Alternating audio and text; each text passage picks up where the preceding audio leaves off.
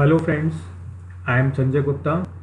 In this tutorial, we are going to discuss about conditional statements, simple if.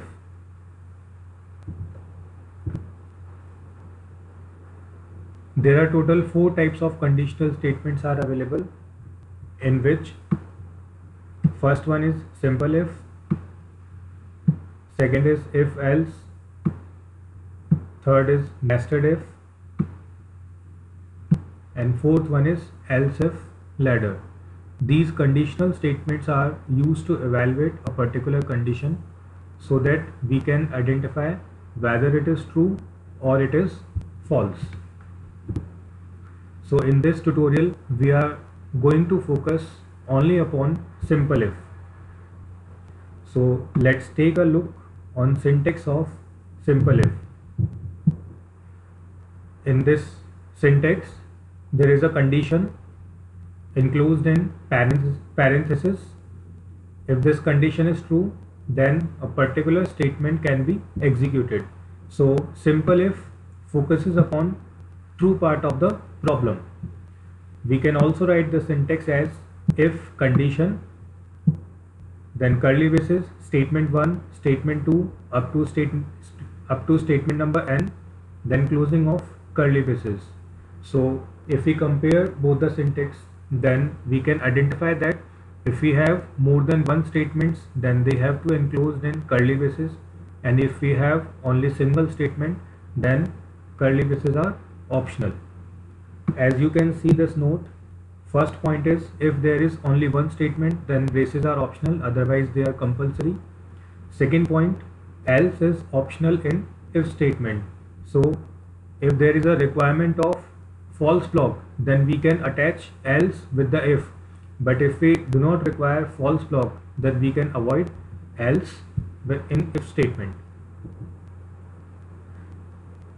Now we can understand the working of simple if with the example.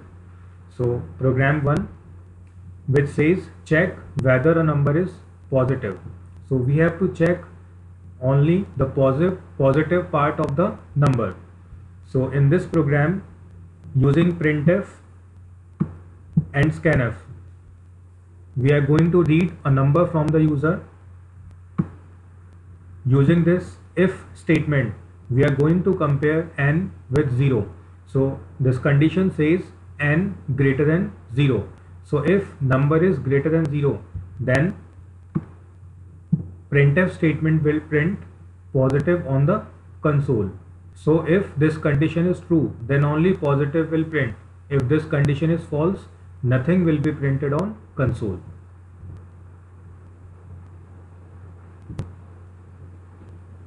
Program number 2. It says check whether a number is between 10 and 20. So again we have to read a number and we are going to check uh, this range that that number lies between 10 and 20.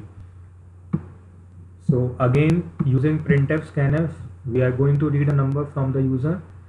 Now in this if condition there are two situations. First says n greater than 0, second says n less than 0 and these two conditions are joined by logical AND operator. So logical AND operator checks both the conditions.